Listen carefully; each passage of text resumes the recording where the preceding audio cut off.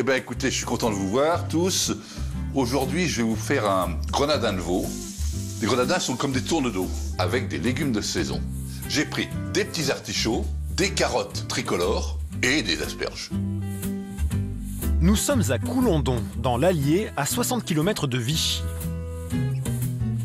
Et lui, c'est Hubert. Et attention, ce passionné de cuisine, amoureux des produits locaux, ne laisse jamais rien au hasard. Le mois de juin, le mois de mai, le début juillet sont les mois de l'asperge, je me suis habillé en vert. Et d'ailleurs, j'ai mis un collier vert à mon chien aussi pour être assorti. À 73 printemps, cet Auvergnat d'adoption et ancien éditeur nous a reçus chez lui, où il possède une collection impressionnante de livres culinaires. Oui, j'ai à peu près 150 bouquins de cuisine. J'ai de tout. J'ai à la fois la matière de cuisine. Bien, ça a commencé quand j'étais tout petit. Quand ma mère euh, faisait des sauces, j'étais toujours là à regarder. Comme ça, j'étais gourmand comme une vieille chatte. Donc, j'étais toujours dans les cuisines. Son adoration pour la cuisine est telle qu'il a même écrit un livre. Mais pour lui, la référence, c'est l'un des livres d'une ancienne star de la télé. Ou bien, je vais dans le livre de cuisine de Jean-Pierre Coff. C'est un type formidable que j'ai un peu connu. Son petit livre de cuisine, La cuisine du marché, il est remarquable parce qu'aussi c'est d'une précision formidable. Il n'y a jamais d'erreur. Une précision qu'Hubert n'hésite pas à mettre en œuvre en cuisine. Allez, c'est parti et on commence par la sauce. J'ai la chance d'avoir un bain-marie. C'est une casserole qui est, qui est double. À l'intérieur de la paroi du dessous, vous avez une réserve dans laquelle vous pouvez mettre de l'eau. Hubert met au bain-marie 3 verres de vin de Madère et 70 grammes de crème épaisse. Et je rajoute ensuite une dizaine de grammes de fond de veau. Alors on peut mettre soit du fond de veau, soit du fond de rôti. Et ça va rester bien sage à cuire tout doucement jusqu'à ce qu'on ait terminé la recette. L'important c'est que ça soit chaud mais que ça ne boue pas. Il s'attaque à la viande et découpe son filet de veau. Trois grenadins, quatre grenadins, j'enlève un peu la peau rose. Alors là c'est pour Winston, il est ravi, il adore ça. Ça c'est de la viande magnifique ça. Elle se tient bien, elle est rosée. Une viande qui est une viande du veau de lait, elle est blanche. Et ça a moins de goût. Et cette viande, c'est chez Clarisse qu'il l'achète. Alors les filles Une éleveuse installée en bio tout près de chez Hubert. Donc bah, je vous présente Bovary, ça c'est une, une vache normande qui a 16 ans là maintenant. C'est la première vache que j'ai que j'ai eue, c'est la première vache qui a fait un, un veau dans ma, dans ma ferme. Donc je suis très attachée à, à cette vache. Et cette vache, ce n'est pas n'importe quelle race. Le cheptel de Clarisse est plutôt inhabituel dans l'Allier. En général, ici, on élève des charolaises. J'ai choisi des vaches normandes parce que c'est une race mixte, c'est-à-dire qui fait à la fois un lait bien gras, le fameux bon lait de Normandie, mais qui fait aussi des veaux qui sont assez bien conformés. Et puis les vaches normandes, elles ont une grande faculté d'adaptation. Je crois qu'il y en a énormément en Amérique du Sud, par exemple. Donc elles s'adaptent un peu à tous les, à tous les climats.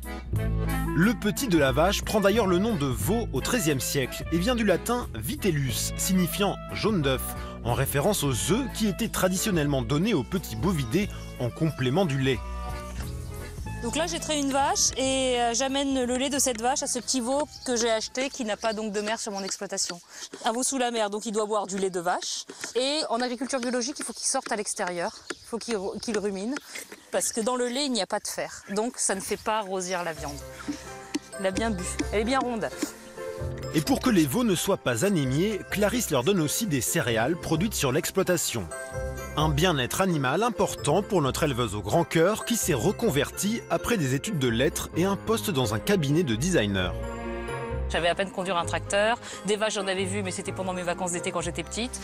Ben voilà. Après, je pense que malheureusement, au début, j'ai fait pas mal de bêtises, mais maintenant, ça, ça, ça va mieux.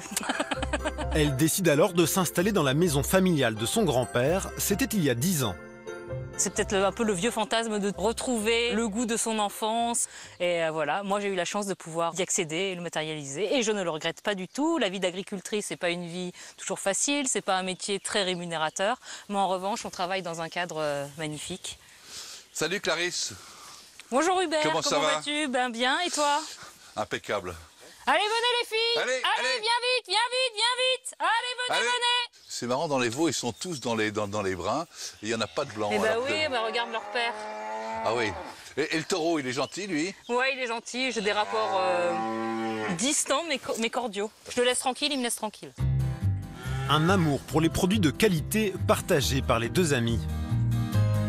Ah oui, oui, moi je veux rester absolument local. Qu'est-ce que je vais aller chercher ailleurs? Ça n'a aucun intérêt. Oui, c'est ça, c'est que souvent en plus on la, on la mange ensemble, hein, notre, notre viande. c'est la chance d'avoir quelqu'un qui sait bien cuisiner, qui cuisine vos produits et du coup qui les magnifie. Il faut que la plaque soit bien, bien, bien, bien chaude. Et je vais faire rissoler peu de temps, c'est-à-dire deux minutes de chaque côté, pour que la viande dore, mais reste à l'intérieur encore un peu rosé. Une fois cuite, la viande est nappée de sa sauce au madère. Hubert la réserve et s'attaque aux légumes. Il commence par tourner ses artichauts. Je le coupe en quatre et je le mets dans de l'eau citronnée pour ne pas que l'artichaut noircisse. Il s'occupe ensuite des carottes nouvelles. Les fans, on les garde et on fait une soupe. Demain. Hubert ne garde que ses pointes d'asperges et fait cuire ses légumes dans un wok avec de l'huile d'olive. Je les laisse une douzaine de minutes. Ils seront croquants. Maintenant, je vais récupérer la petite vinaigrette que j'ai faite avec le vinaigre balsamique et l'huile d'olive. Je vais la mettre dessus. Les légumes sont aigre doux. Il ne reste plus qu'à dresser avant de faire déguster la recette à Marie, l'épouse de notre hôte, C'est délicieux. et à Clarisse, son éleveuse adorée, qui n'est pas peu fière. Très bon. C'est un métier très important, le fait d'être éleveur, euh, agriculteur, euh, on nourrit les gens. Mais après, euh, moi aussi, j'ai cette optique de ne pas non plus oublier aussi qu'on travaille avec du vivant, des animaux, etc. Et donc vraiment pas oublier les normes de bien-être animal.